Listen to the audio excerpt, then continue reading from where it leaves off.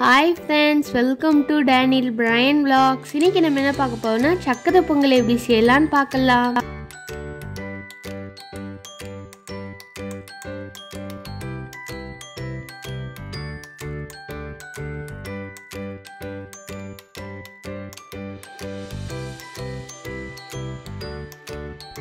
Hi friends இன்னைக்கு சக்கரை பொங்கல் எப்படி செய்யலான்னு பார்க்கலாம். அதுக்கு ஒரு கப் பொங்கல் பச்சரிசி எடுத்திருக்கேன். கால் கப் சிறுபருப்பு இதை நம்ம நல்லா வாஷ் பண்ணி எடுத்துக்கலாம். ஒரு நாலஞ்சு தண்ணியில் வாஷ் பண்ணி எடுத்துக்கலாம்.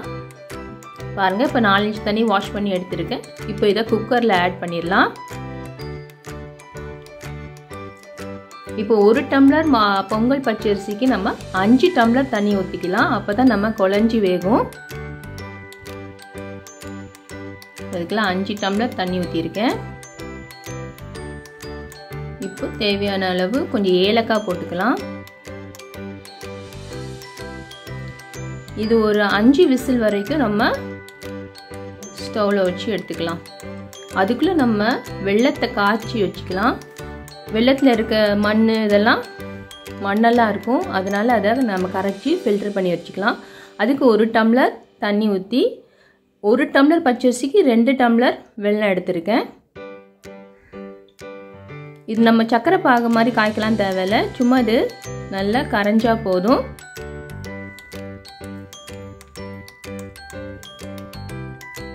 பாருங்க நல்லா கரைஞ்சிட்டு இருக்கு.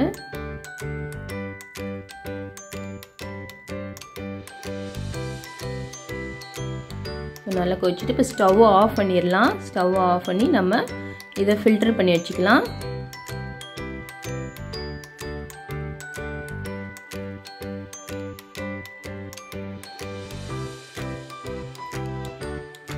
இதில் இருக்கிற மண் எல்லாம் வெளியே வந்துடுச்சு பாருங்க.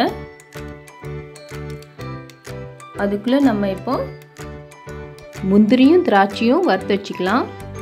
இப்போ நெய் ஒரு நூறு எம்எல் ஊற்றிருக்கேன்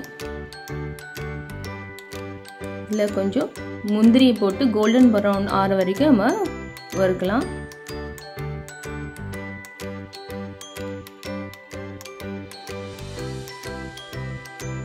நம்ம இப்போ திராட்சையை ஆட் பண்ணிக்கலாம். அது கொஞ்சம் பலூன் மாதிரி வரும்போது நம்ம ஸ்டவ் ஆஃப் பண்ணி எடுத்து வச்சுக்கலாம். பாருங்கள் ரெடி ஆகிடுச்சு இப்போ நம்ம ஸ்டவ் ஆஃப் பண்ணிடலாம். இப்போது நம்ம பொங்கல் ரெடி ஆகிடுச்சு நல்ல நல்லா குழஞ்சி வெந்திருக்கு பாருங்கள் இப்போ இந்த ஸ்டேஜில் நம்ம கரைச்சி வச்சுருக்க வெள்ளத்தை இதில் ஆட் பண்ணிக்கலாம். இது சேர்த்த உடனே ரொம்ப தண்ணியாக இருக்கும். இது கொஞ்ச நேரம் ஸ்டவ்வில் வச்சு நம்ம கிண்டி விட்டுட்டே இருந்தால் கொஞ்சம் கட்டியாகும். அது வரைக்கும் நம்ம மிக்ஸ் பண்ணிகிட்டே இருக்கணும்.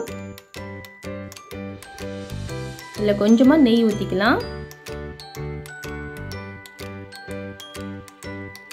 பாருங்கள் நல்லா கொஞ்சம் கெட்டி ஆயிடுச்சு இப்போ இந்த ஸ்டேஜ் நம்ம வறுத்து வச்ச முந்திரியும் திராட்சையும் ஆட் பண்ணிக்கலாம்.